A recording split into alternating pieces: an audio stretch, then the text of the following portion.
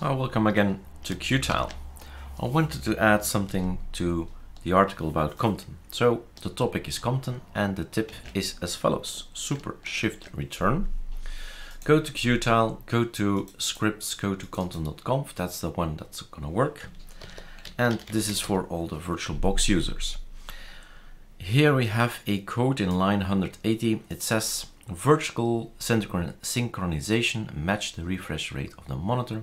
This breaks transparency in VirtualBox. Put a hashtag in front of this line, save it, restart vlog, uh, restart Compton, Then you have a uh, transparent, sorry, transparent um, terminal, for instance.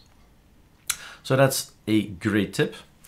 The other tip I'd like to include, but unfortunately we don't see anything because everything is super okay. And that's the following thing.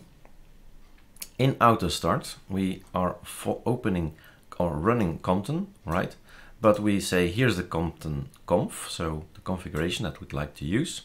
So if you having problems, issues, then you can actually, um, well, figure it out yourself, analyze it yourself. Remember, ArcoLinux, we want you to become self-reliant. Don't ask questions to others.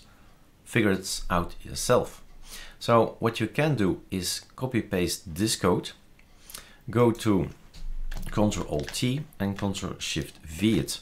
So what you're doing is, well, launching Compton uh, this way.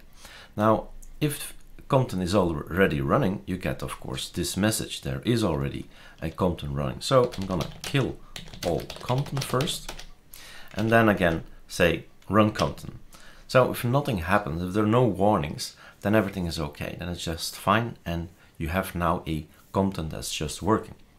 If you wanna test it further and put it in the background, that's just this little sign in the back, and then it's this this application has been sent to the backend, to the background. So if there are errors in here, then you have to start analyzing and Googling, okay, what changed in Compton because Compton is really moving fast in about four, five months time. We've seen releases from four till now 6.2-2. So yes, it's moving along. It's um, been developed by these guys and if you're wondering what guys, these guys. So that's our GitHub where everything is coming from.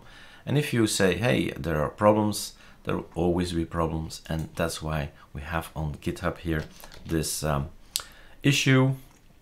You can report and you see backend Xrender driver, hardware requirements, questions, artifacts, bugs.